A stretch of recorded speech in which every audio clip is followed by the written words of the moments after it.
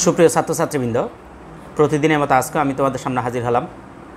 আজকে তোমরা নবম, দশম শ্রেণির ছাত্রছাত্রী আছো, তাদের জন্যই চতুর্থ অধ্যায় থেকে মূলধন মূলধন ও মুনাফা জাতীয় লেনদেন যে অধ্যায়টা আছে, সেখান থেকে আমরা সৃজনশীল যাওয়ার আগে মূলধন ও মুনাফা জাতীয় লেনদেনের একটু ধারণা নিব, তারপরে আমরা সৃজনশীলগুলো করাবো। আগে বেসিকটা আলোচনা করি, তারপরে আমরা সৃজনশীলগুলো কীভাবে করার সেটা দেখাবো। তো মূলধন ও মুনাফা জাতীয় লেনদেনের ধারণার মধ্যে আমি যদি একটু বলি, ব্যবসায়ের সকল লেনদেনকে দুই ভাগে বিভক্ত করা হয়। একটা হলো মূলধন জাতীয়, আরেকটা মুনাফা জাতীয়। মূলধন জাতীয় লেনদেনের সুবিধাভোগের মেয়াদ মুনাফা জাতীয় লেনদেনের অপেক্ষা অধিক। তার মানে কি? মূলধন জাতীয় যে লেনদেন আছে, সেটা সুবিধা ভোগ করতে পারবে দীর্ঘ সময় ধরে।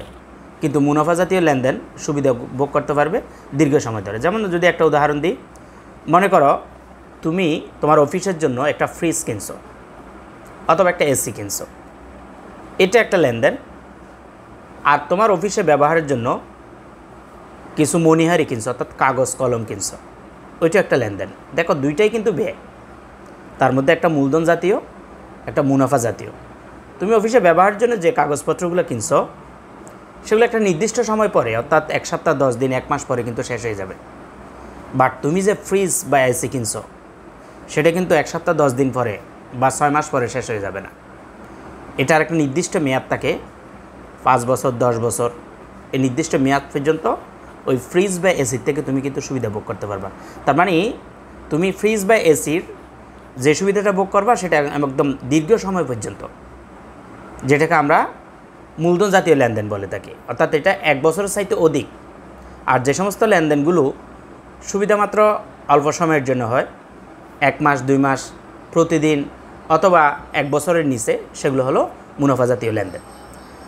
মুনাফা জাতীয় লেনদেন যেখানে নিয়মিত সংগঠিত হয়, মুনাফা জাতীয় লেনদেনের আরেকটা বৈশিষ্ট্য হলো ওই লেনদেনগুলো নিয়মিত সংগঠিত হবে। যেখানে, সেখানে মূলধন জাতীয় লেনদেন অনিয়মিত। মূলধন জাতীয় লেনদেনগুলো কিন্তু অনিয়মিত। যেমন মুনাফা জাতীয় লেনদেন প্রতি মাসে মাসে অথবা তোমার অফিস ভাড়া দিচ্ছ, তাহলে একটা নির্দিষ্ট টাইমের মধ্যে প্রত্যেক মাসে মাসে অফিস ভাড়া দিবা, এটা নিয়মিত। বাট তুমি যে অফিসের জন্য একটা এসি বা ফ্রিজ অথবা একটা ফ্যান কিনবা, এটা কিন্তু প্রতি মাসে মাসে বা প্রতি বছর বছর কিনবা না।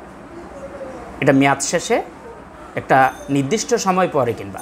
কিন্তু মুনাফা জাতীয় লেনদেনগুলো এটা নিয়মিত হতে থাকবে। এরূপ আরও কতিপয় দিক বৈশিষ্ট্য রয়েছে যা এই দু ধরনের লেনদেনকে পরস্পর পৃথক করে। লেনদেনের ক্ষেত্রে সাধারণত আমরা দেখছি লেনদেন নগদ বা অনগদ হয়। লেনদেন দৃশ্যমান বা অদৃশ্যমান প্রভৃতি বিষয় হয়। লেনদেনসমূহ নিম্নোক্ত অবস্থা থেকে বিবেচনা করা যায়। এটা হচ্ছে দীর্ঘমেয়াদী লেনদেন, একটা স্বল্প মেয়াদী লেনদেন। একটা অনিয়মিত লেনদেন, আর একটা নিয়মিত লেনদেন। একটা বড় অঙ্কের লেনদেন একটা ছোটো অঙ্কের লেনদেন। ঠিক আছে? যে সকল লেনদেন হতে দীর্ঘমেয়াদী, এক বছরের অধিক। দীর্ঘমেয়াদী মানে কি? এক বছরের অধিক সুবিধা পাওয়া যায়, টাকার অঙ্কে অপেক্ষাকৃত বড় হয় সেই লেনদেনগুলা। এবং লেনদেন নিয়মিত সংগঠিত হয় না, তা মূলধন জাতীয় লেনদেন। তার মানে কি বুঝলাম?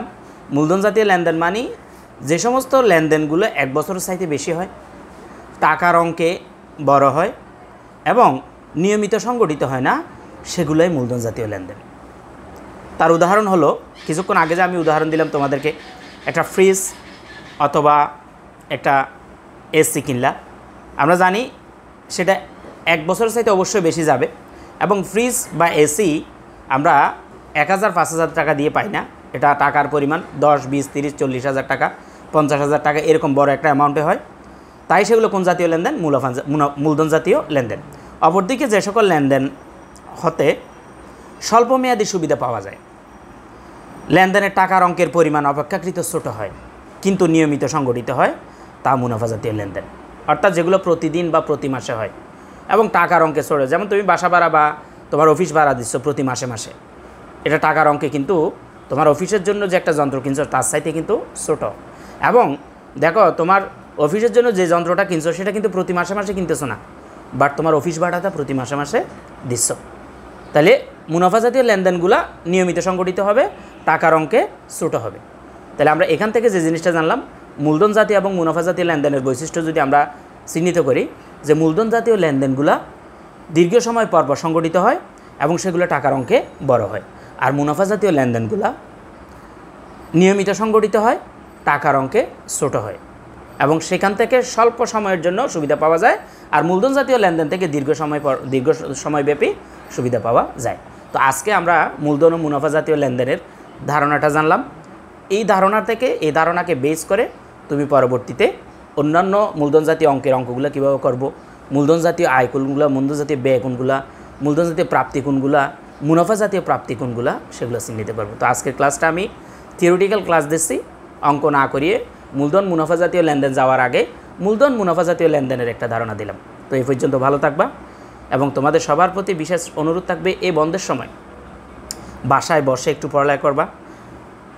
দেশের পরিস্থিতি, যে কোনো সময় যদি স্বাভাবিক হয়, আল্লাহ যদি চায় যে কোনো সময় স্বাভাবিক হয়ে যেতে পারে, তাহলে সাথে সাথে কিন্তু তোমাদের পরীক্ষা হবে। আর তুমি যদি এখন বসে থাকো, স্কুল করলে, তাহলে তুমি কিন্তু পরীক্ষার জন্য প্রিপারেশান নিতে সময় পাবা না। প্রিপারেশানটা যদি এমন এখন থেকে নিয়ে না নাও, তাহলে তোমাদের উচিত হবে এখন থেকে বাসায় রুটিন করে নিয়মিত দশ ঘণ্টা পড়ালেখা করা। কারণ তুমি সারাদিন বাসায় থাকতেছো। তোমার কোচিং বন্ধ, স্কুল বন্ধ, বাইরে যাওয়া বন্ধ, তাই সারাদিন বাসার মধ্যে একটু রুটিন করে পড়ো। আর আমরা তো তোমাদের ক্লাসগুলো পর্যায়ক্রমে আমাদের ইউটিউব চ্যানেলে দিয়ে দিচ্ছি। আমাদের চ্যানেলে তোমরা যদি নির্দিষ্ট জায়গায় জানো জানো, তখন বন্ধুবান্ধবদেরকে জানাই দিবা যে তোমাদের বিষয়ভিত্তিক এই ক্লাসগুলো আমার যে হিসাব বিজ্ঞান ক্লাস আছে, সেটা আমি কিন্তু পর্যায়ক্রমে দিতে থাকব। ভালো থাকবা সে পর্যন্ত।